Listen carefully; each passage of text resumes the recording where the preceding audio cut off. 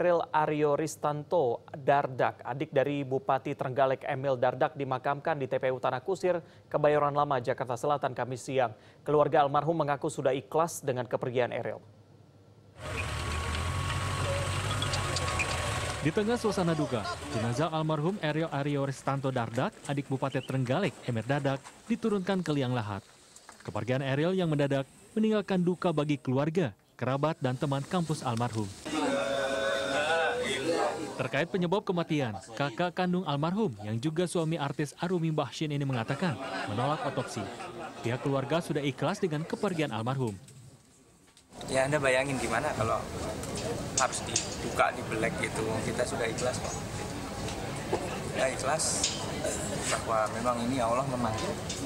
Tadi saya memandikan sendiri, saya melihat sendiri bahwa tadi si pihak uh, ustadz yang bantu memandikan kalau di daerah kita sebutnya modin ya itu juga mengatakan wah ini jantung karena yang biru hanya dari sini ke atas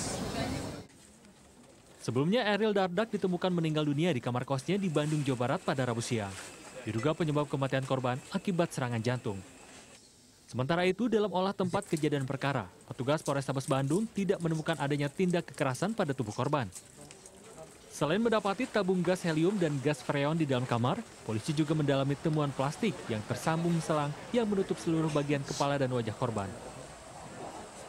Sementara ada tabung tabung gas, ya tabung gas yang bertulisan HE, kemungkinan ini uh, gas tertentu. Kemudian juga ada selang, kemudian juga ada uh, tabung freon dan juga ada TV dalam keadaan menyala di mana di situ ada salah satu program yang nanti juga kita akan dalami. Semenjak kuliah di Bandung, almarhum Eril Dardak menyewa sebuah kamar kos untuk ditinggali. Polisi masih terus melakukan pendalaman terkait penyebab meninggalnya caleg DPR RI termuda dari Partai Amanat Nasional ini. Tim Liputan Trans 7.